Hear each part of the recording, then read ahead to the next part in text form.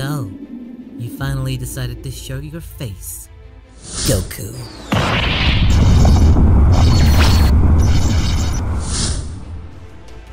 You know I'm here, Black, so give her back! My, my. So demanding, aren't we? And just what makes you think she's even interested in seeing a fool like you? It's because we're connected.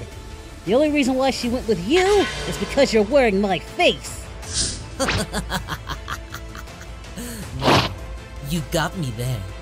But she's quite comfortable, I assure you. So why don't you run along and go play hero elsewhere? I said, hand her back, Black. I won't ask again.